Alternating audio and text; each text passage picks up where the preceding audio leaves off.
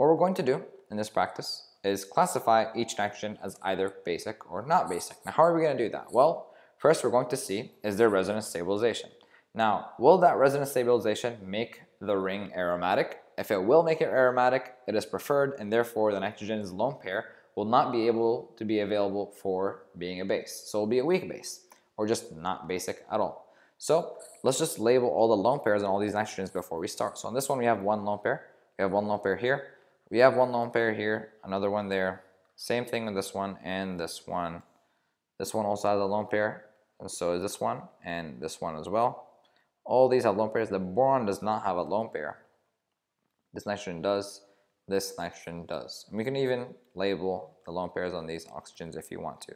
So there we go. So all the lone pairs have been labeled. Now let's see if they will be used for resonance stabilization. Now in this first one right here, we have four electrons in this ring structure. Now all these atoms are sp2 hybridized except for the nitrogen right now.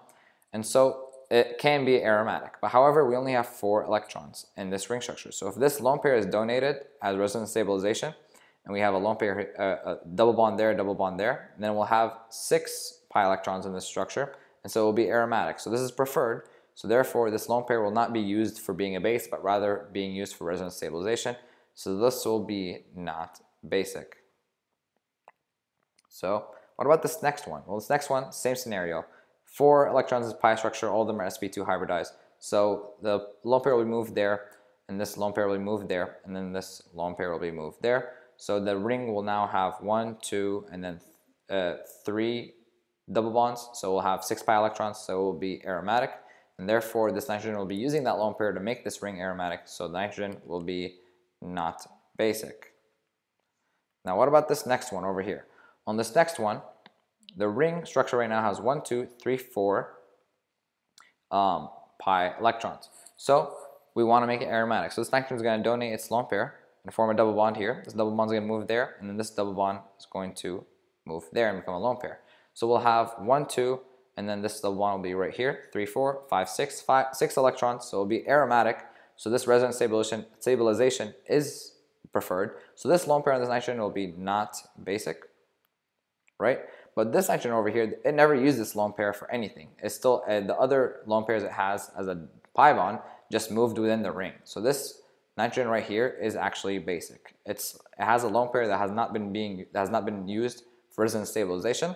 And so it's available for abstracting a proton.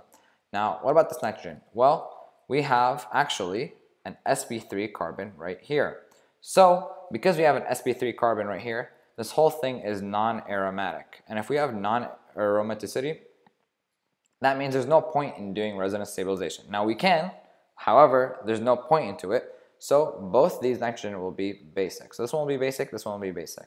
Now since this one is conjugated and it has a double bond next to it, it might be a little bit less basic than this one. However, that won't make it much of a difference. Both of them are basic. Now on this one right here, we have a nitrogen of the lone pair, and another one, another one. Now this ring structure right now has one, two, three, four pi electrons. We want six to make it aromatic. So we can move this lone pair right here, and move that pi bond over there, and this pi bond over here, and we end up having a six pi electrons in this, and we have a double bond right here with this nitrogen. So the lone pair on this one is not basic because it can make the ring aromatic.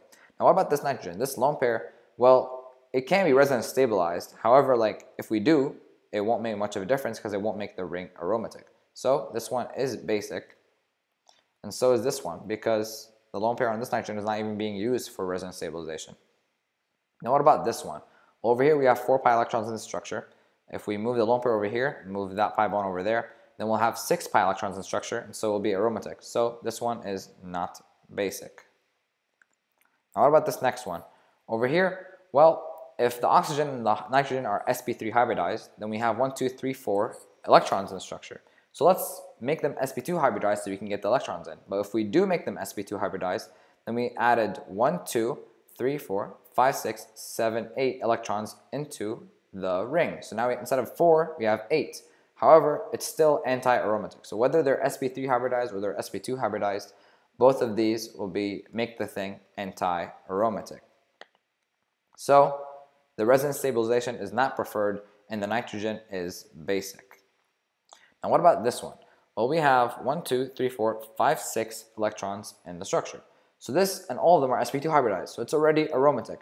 If we create resonance stabilization and move this lone pair over here to become a double bond or a pi bond, and move this over there, move this over there, move this over there, we can do that. But now we'll have eight electrons in the ring, and we don't want that because because there, if there's eight electrons, it'll be anti-aromatic because of the Huckel's rule, the 4n rule.